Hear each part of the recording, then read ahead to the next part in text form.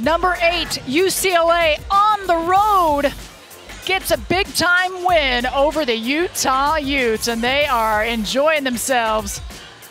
Michaela Onyenwere and her teammates flexing their stuff, but in my opinion, Amanda Smith, it was Natalie Chou that kind of kickstarted the energy level.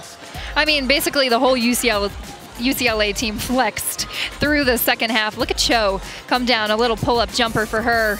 And then the steal and another pull-up knockdown for Joe.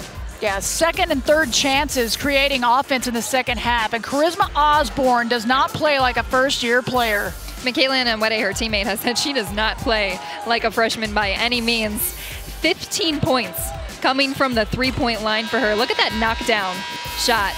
She said, all right, you're going to give me a little space. I'm going to put this one in your face. Crazy range. And she does just that. And you mentioned Michaela Onyenwere, and for good reason.